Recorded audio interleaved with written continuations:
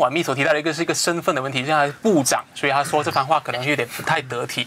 那恰好我们一个网民有这样的一个问题想问嘉宾的，是说如果林瑞生在选后被委任为外交部长，请问会对中马新会对新中关系和新马关系有何影响？啊，不晓得，就由婉密先开始吧，关于这个。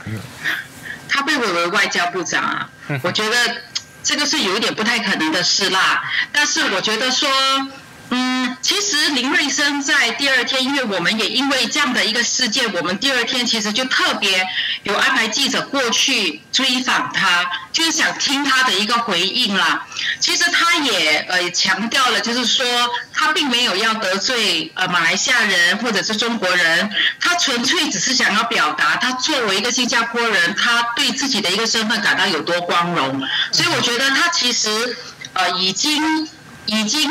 圆了自己的这样的一个说法，我觉得未来就算他当外交部长的话，那他应该就会有更好的这种外交的这种辞令、这种技巧来呃，在说明自己的态度，就是他绝对没有看清这两国的人，他纯粹只是要更强调自己的一种优越感而已。嗯嗯，好，其实我想问围城呢，这方面怎样看待？如果他真的是被委任的一个外交部长，呃，如果他被委任为那个外交部长，基本上呃，如果我们从那时候外外交惯例来看呢，基本上是呃问题不大了，啊，其实危险不大。所以因为呃，当两国领导人还有两国那些呃外交使节团哦，他们最主要他们呃在进行好像互动，然后还有交流的时候，是他们比较多会呃好像比较会重视的一点就是你的国家能够为我带来什么啊，所以他们呢基本上来讲呢，就是呃在政府跟政府的层面哦。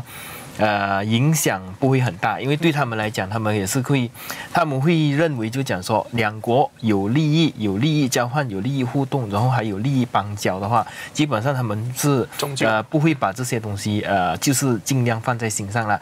然后到了那个人民那一部分哦，就是可能为了要呃进行人民那边消毒呢，所以可能就是呃婉密刚刚讲的呃也是也是有一点也是对的，就是他。会到那个时候呢，基本上会呃，如果真的是他当了那个外交部长过后呢，啊，他就会呃，一定会过去那个呃，去中国或者是来马来西亚，就是进行一个官司访问。啊，在那个时候他就会啊，发表很多那些外交指令啦，然后赞扬马新关系，然后赞扬啊，然后马新中关系。啊啊，这样子就是一一定的那种外交指令来的。啊。凤英姐呢？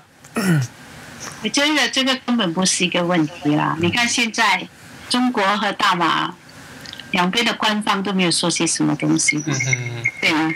这只是人民觉得哎，我听得不大爽这样而已。但是官方都没有什么发言，所以基本上我觉得。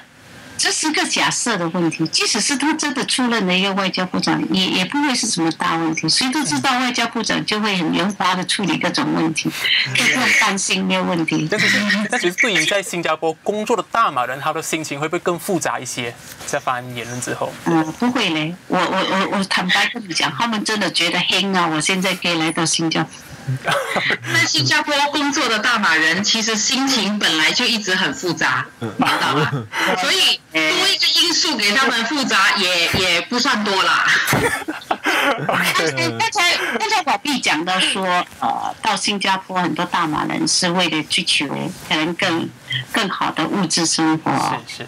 呃，我我其实并不是很赞同啦，因为我真的是有很多很多大马朋友。就是来到已经在新加坡定居，成了公民也好，成了永久居民也好，还有也有很多亲戚是大马人。呃，他们来到新加也不只是为了追求物质上的问题。呃，相对的，新加坡是一个比较安全的社会，这是我们都知道的。嗯哼，人身的安全，这个对一个。人能够和和平平、平平安安的生活，也是一个很重要的因素。还有教育机会，嗯哼，你懂，华人都很注重下一代的教育机会，这也是他们。他们就认为这两个都是很重要的。是是，我觉得这两个对他们能不能赚到更多钱更重要。我个人的看法是这样，我我从我跟他们的谈话中，他们也是这样讲。所以即使在新加坡赚更多钱。可是新加坡生活水准也更加高，他们也明白为了什么，至少在新加坡出入平安，在新加坡孩子的教育机会是肯定会有的。嗯哼，我觉得这两个是很重要的因素。好的，就是这样。对于这个九一一啊，就是多两天已经是那个新加坡选举日嘛。就我们谈到这一个新加坡选举的话，不晓得凤英姐这边可以大概简单的分析一下目前的一个选情嘛？看样子，呃，现在有一点人民新政党有点告急了，因为有时候风一吹的时候哈，东风一来哈，那个吹是吹不停的。我我我赶我赶紧补充说明一下，凤英姐说的告急绝对不是变天，难说啦，绝对不是变天，难说啦，因为现在因为八十九个选区都有人呃在竞选嘛，对吗？那么这种所谓 flip result，我们讲说，哎，一瞬间大家都觉得没问题啊，你也觉得我没问题，我也觉得你没问题啊，不会啊，不会变天。啊，那明天醒过来就变天了，那小突然间很多小刀可以锯大树，啊，变成来来组织联合政府啊，应该也没有一个反对党可以成立？呃，除了 PAP，嗯，没有一个一个反对党可以独立来独立对对对，嗯嗯。